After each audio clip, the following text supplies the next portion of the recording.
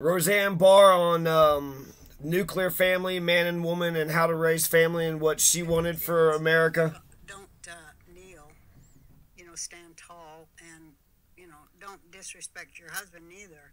You know, be a team with him to raise better kids. That's Yeah. So don't be a slave, but don't be a master. Be a team player, cooperative, cooperation. they didn't like that.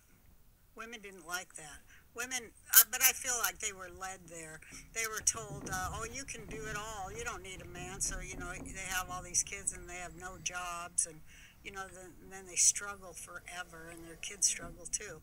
But nobody would tell them, "You can't have it all. You can't do it all."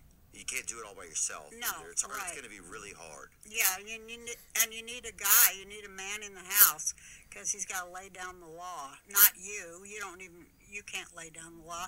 You're hysterical half the month. Right. Nobody wants to admit that either.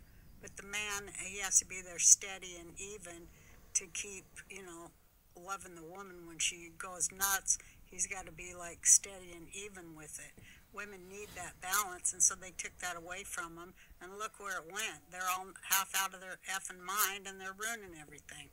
Screaming about, you're, know, you better, you know, just censoring everybody like witches, like a cabal of witches. It has gotten witchy, Yeah. and it's like, And it ain't the right kind of witchy either. right?